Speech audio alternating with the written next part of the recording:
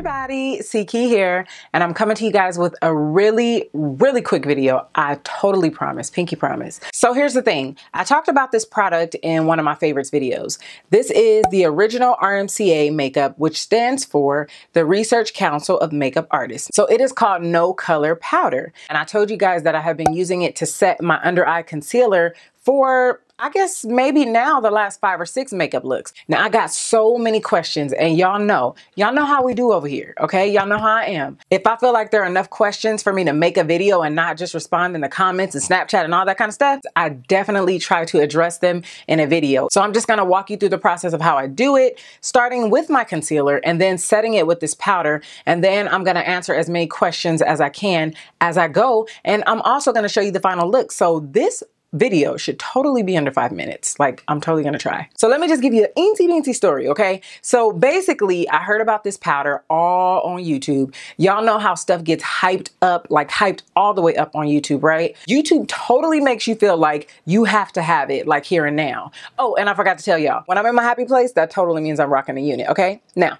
back to the powder. So I went to a makeup event. I believe it was a makeup show LA. I went there and I got this product, which was like back in March. So when I tried the product, I first tried it on my face because I had a whole lot of shine going on on my face. And I was like, let me try this powder to see if it knocks off the shine. Well, the product totally knocked off the shine. It was translucent and it didn't give me like a cast or anything, but I was still a little iffy about trying it under my eye, okay? So I was recently in a photo shoot and in the photo shoot, they actually used this powder on me to set my under eye concealer.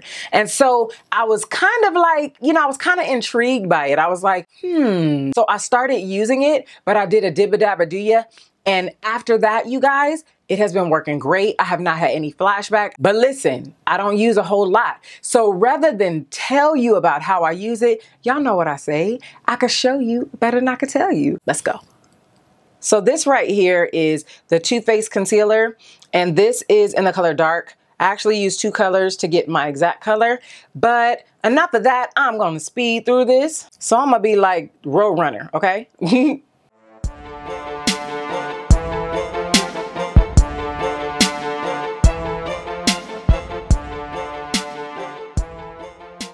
after I get my concealer on, I let it sit for a little bit because this Too Faced concealer right here is very, very hydrating. And to avoid or to minimize creasing, I should say, I just let it sit and I let it get a little bit tacky and then I blend it out, all right?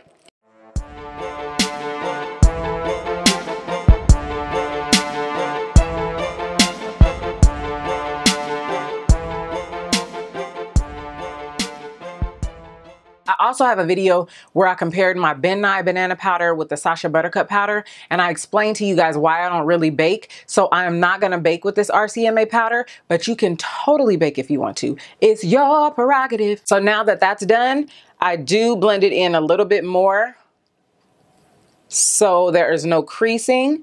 And then I dip the same side of my beauty blender or beauty sponge, whatever you're using, into the RCMA powder. And that's what it looks like. And I do go in it a couple of times, but I start off slow. I would rather start off slow than put a whole lot and then have to correct it. So I just get to blend it. I get to pat it in.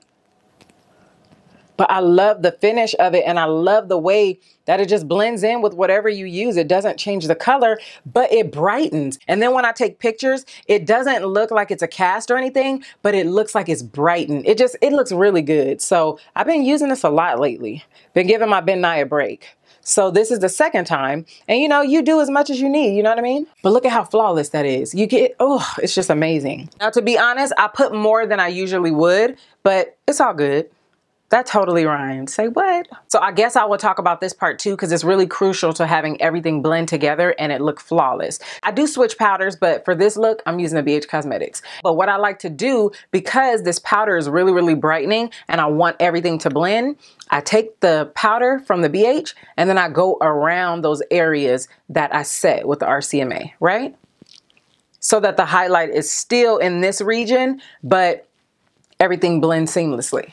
So I'm gonna do everything else and I will come back and I will show you how everything meshes together. It looks very flawless and it's just safe to say that I'm in love with this powder. I will definitely be alternating between that and my Midnight Banana powder and I still will be working on a setting powder or battle of the setting powders or under eye setting powders for you guys. I have not forgotten, I promise. So that is it. If you guys enjoyed this video, don't forget to thumbs up and I will see you sooner than you think.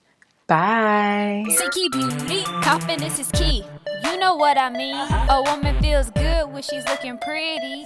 I don't need no Benz, Lexus, or Range Rover. Just give your girl a bomb, C Key Beauty makeover. Confidence is key, ladies. You know what I mean. Or maybe her eyeshadow and mascara will help you see. Check out her foundation and the blush on her cheek. Yeah, we ain't playing games. It's the C Key Beauty. Yeah, C Key Beauty.